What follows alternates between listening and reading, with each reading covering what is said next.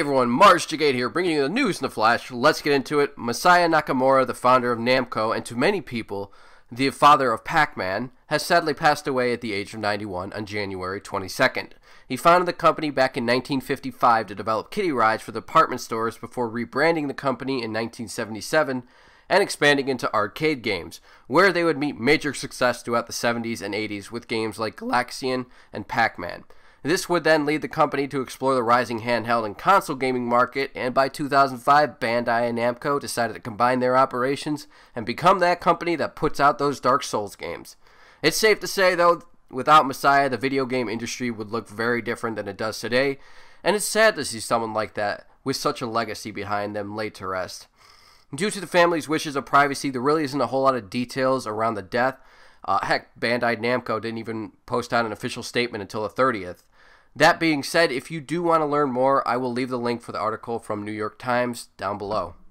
Memphis May Fire has parted ways with their guitarist Anthony Sepe. They both have released statements. You can check out both of them down below.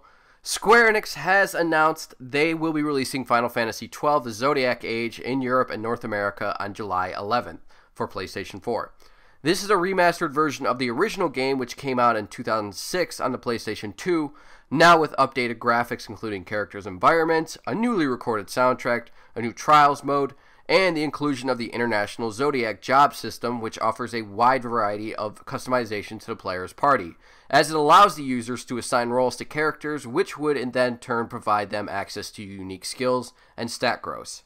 This was only included in a Japan only update to the original game, which came out a year later, I think, after the game had launched. So it'll nice it'll be nice to finally be able to check it out. Anyways, if you want to check out the announcement, I will leave it below for you. Seeing as it's Final Fantasy's 30th anniversary, there were a couple of other announcements, including them announcing the first episode of Final Fantasy 15, episode Gladiolus, which is set to be released on March 28th. They have released a couple of screenshots for it, which you can check it out below.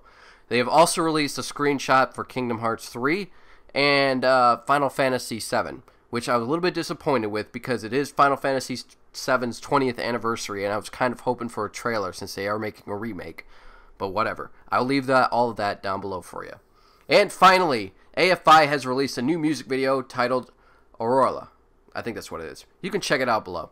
Thank you all for joining me. I will see you on the next one. Mars out.